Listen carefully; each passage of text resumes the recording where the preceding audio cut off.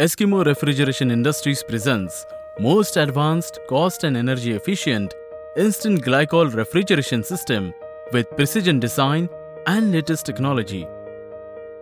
Compressor Compressor is the heart of the refrigeration system. It pumps ammonia refrigerant around the refrigeration system to provide cooling.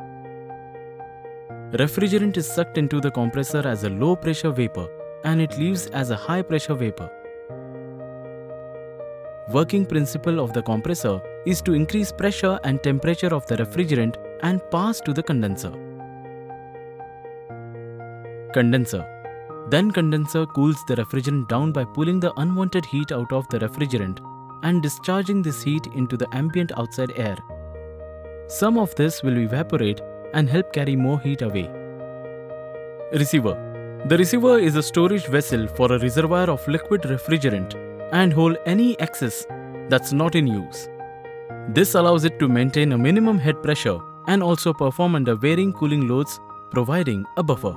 We will likely find a line running between the receiver and the condenser inlet for providing pressure equalization and allows the liquid refrigerant to flow out of the condenser and into the receiver more easily.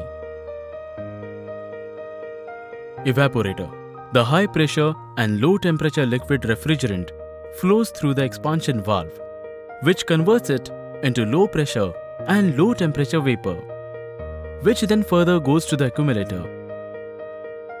From the accumulator, the low pressure and low temperature vapor goes to the glycol chiller, where the hot water coming from hot well is cooled and cold water is sent to a cold well.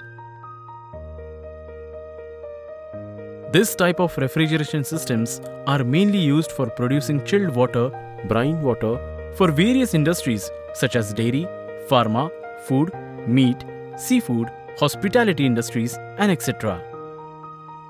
Eskimo Refrigeration Industries is expert in manufacturing such plants for past 35 years.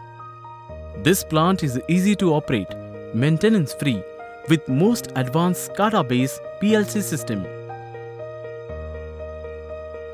Eskimo Refrigeration Industries provide designing, supply, erection, testing and commissioning of industrial refrigeration plants on turnkey basis.